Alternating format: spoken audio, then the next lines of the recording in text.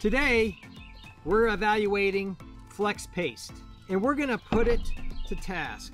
We're not gonna give it some commercial test on a boat or a whiskey barrel. Those are kind of easy. We're gonna put it up against the plastic surface of a rain barrel and 400 pounds of pressure. Making patches on something all these other competitors have failed. Will Flex Paste succeed or will it go down in flames just like these others? Interested? Here we go. We're getting into the growing season and I hate using city water even though we have filters. I'd rather use rainwater. In a previous video that I'll post up there and down below, I tried Flex Glue, Flex Tape, Gorilla Tape that was supposedly better than the Flex stuff. All failed. And then last night I found this. Flex Paste. I know, is it gonna work? It comes both in black and white. Haven't decided which one I'm gonna use yet, but we gotta give it a shot. My last video was pretty popular, so just have to try again. But before we do that, let me show you the results of the previous video, a year or so later. This is the Gorilla Patch right here. This is the Flex Glue, which was the second attempt to seal this up. And I had a Gorilla Patch on the inside. The crack goes from here, you can see right here where it kind of leaked through.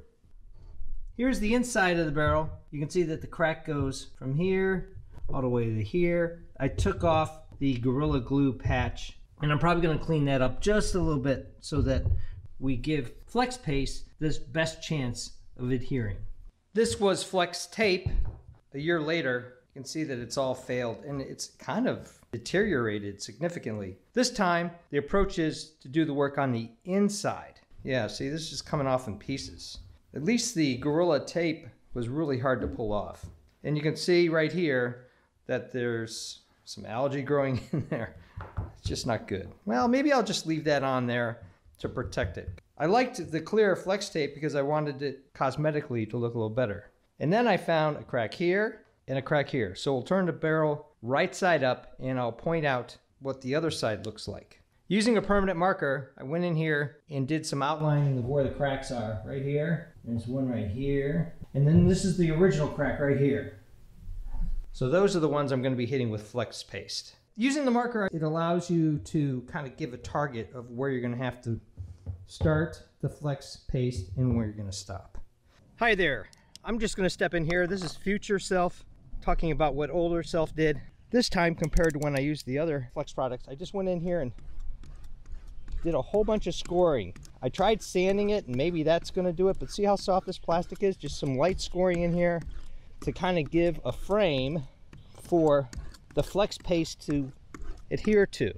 I just couldn't show it well inside the barrels. Putting in that line over the crack was absolute key because when I did the pasting, that ensured that I got a overlap and completely covered the crack. Once you start putting that paste down, it's really hard to tell where you're at and having a line as a target was absolutely essential to patching the area successfully. Couple hints as you open this thing up. First of all, you got this lid here and you have a dry silicone pack and then you have this stop. Do not discard this foil, read directions. So I read the directions and this is key to keeping this stuff from drying out. So what you do when you finish with this is you just put that on top and then put the silica and then I'm just going to have this down and the cap on. Sometimes setting up the shot is the hardest thing about the repair. So I'm going to get a good helping of that on there and I'm just going to slurry it on. Now I don't want to do that because that's where the water comes out. So I'm going to clean that off and I'm going to go over the black mark and thicken it up. It's kind of like a very thick marshmallow frosting. And I'm probably putting on more here than I need. I've used half of the container for four repairs. That's not bad. It's much easier to use than the tape or even the glue. And I spread it on there pretty thick. Probably don't have to do it that thick. I don't want to take any chances. I'm done with this project. I want it to work. The rain barrels are $80 a piece, brand new. These aren't new, but to replace them, that's how much it's going to cost me. So $13 for this, or $26 or whatever, you can get it on Amazon. It's well worth the price to fix these two rain barrels. I've pushed that aluminum piece down where it says stop, don't throw away. Put the silicone gel in there. Gonna put the top on. Turn it down tight. And hopefully it's not gonna dry out. It has dried out on people, but I'm not sure that they use this and that.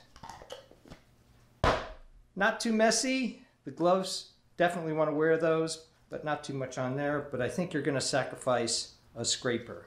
The scraper, guess what? This stuff just peels right off. Now we're going to fill these guys up with water and see if they hold. Several hours later, and the water levels inside the rain barrels are at the same level. There's no sign of leaks. I do have to tighten up on this fixture here. It's leaking a little bit, but the side of the barrel is completely clean.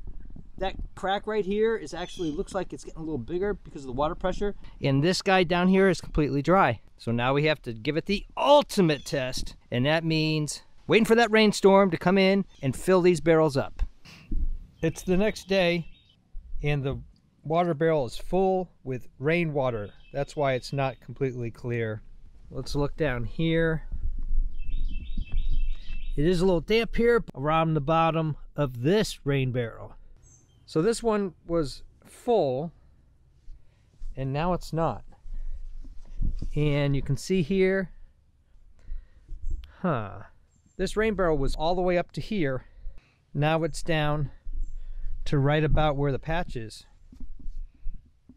And I call this the ultimate test for a bunch of reasons. Number one, unlike the boat it's used in the commercial, it's using a wire frame. Or you have the whiskey barrel that's made out of wood and it doesn't have but so much water in it. It's a little impressive to hit it with an axe and then cover it up. But here's a test where this was completely full up to this level right here last night and 12 hours later it's leaked through and I put a lot of stuff on there. This crack has expanded this patch that I put here before has kind of kept it all together.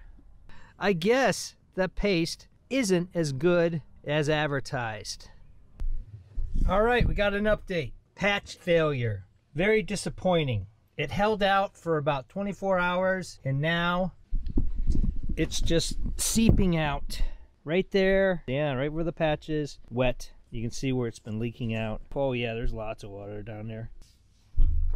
So what's the bottom line here? I really wanted Flex Paste to work. I bought two kinds. I actually even made a little stand to give it kind of like the gold medal of all these other competitors. But in the end, it failed for the same reason that these guys failed. The plastic. Yeah, if you're going up against rough surface, wood, or you're using chicken wire, yeah, and you put enough on there anything works. I put what I considered a good bit on these patches. It just flexed enough with downward pressure, hundreds of pounds, that it failed. I wish it was a success story. These all cost about the same amount, around $13 if you buy it in the store. If you buy it online, it's twice as much. But the bottom line is, I can't recommend this product to you based on my results.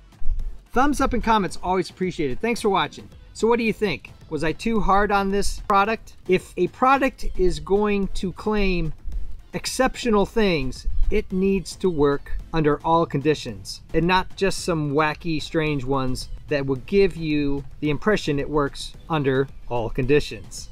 If you're interested in product evaluations, home repairs, sports builds, Designs of all kinds, making and breaking things. I even do costumes, props, and cosplay. Check out my channel and please subscribe because you never know what you're gonna see.